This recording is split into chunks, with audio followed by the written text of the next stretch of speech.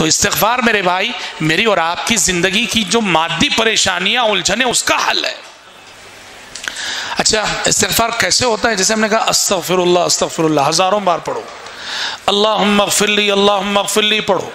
ہماری خواتین گھر کام و کاج کر رہی ہیں، پکا رہی ہیں، پکاتی رہو، زبان پہ استغفار جاری رہے۔ گھر میں جھاڑو دے رہی، جھاڑ رہی ہو، زبان سے استغفار جاری رہے۔ ہم دکان میں بیٹھے بزنس کر رہے ہیں۔ بزنس کرتے رہو، زبان سے استغفار جاری رہے۔ سفر میں ہم کہیں سفر پہ جا رہے ہیں، گاڑی میں بیٹھے استغفار جاری رہے۔ اور بعض سیغے ہیں استغفار کے، اگر ان الفاظ اور ان سیغوں سے استغفار ہو تو اس کی اور فضیلت ہے۔ اور اس کا کیا ہے؟ پیارے نبی دیکھو، ایک دعا پڑھتے تھے۔ اللہم لکا اسلمت وبکا منت وعليك توكلت وإليك خاصمت وبك حاكمت فاغفر لي ما قدمت وما أخرت وما أسررت وما أعلنت وما أنت أعلم به مني. أنت المقدم وأنت المؤخر. لا إله إلا أنت. بڑی پیاری دعا ہے.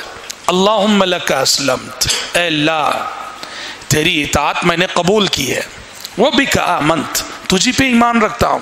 والی کا توکلت تجھی پہ بھروسہ کرتا ہوں ہر بات میں۔ وہ بھی کا خاصمت، اور اللہ، اپنے ہر مسئلے کو لے کے میں تیری ہی بنیاد پہ جھگڑتا ہوں۔ ویلے کا حاکم میرا ہر معاملہ تیرے ہی دربار میں لے کے آتا ہوں۔ فغفر لی ما قدمت وما اخرتا ہاں، یہ دیکھو۔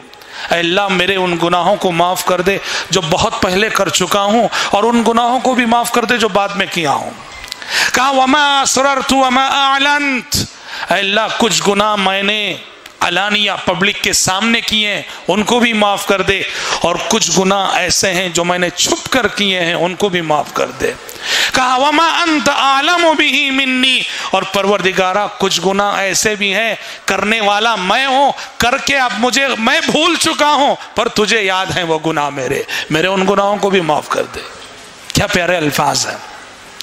اور سب سے افضل سیغہ استغفار کا وہ ہے، جسے احادیث میں سید الاستغفار کہا گیا ہے۔ سید الاستغفار اللهم انت ربي لا اله الا انت خلقتني وانا عبدك وانا على عهدك ووعدك ما استطعت، اعوذ بك من شر ما صنعت، ابوء لك بنعمتك علي وابوء بذنبي فاغفر لي فانه لا يغفر الذنوب الا انت۔ بڑی پیاری دعا ہے۔ کیا فضیلت ہے اس کی؟ پیارے نبی، صبح میں پڑھتے تھے اور شام میں پڑھتے تھے۔ صبح شام کے اذکار میں استغفار کا یہ سیغہ تھا اور اسی کو سید الاستغفار کہا جاتا ہے اور اس کی فضیلت پیارے نبی نے یہ بتائی کہ جو صبح میں یہ پڑھ لے، شام تک مر جائے تو جنتی ہے اور جو شام میں پڑھ لے، صبح تک مر جائے تو جنتی ہے۔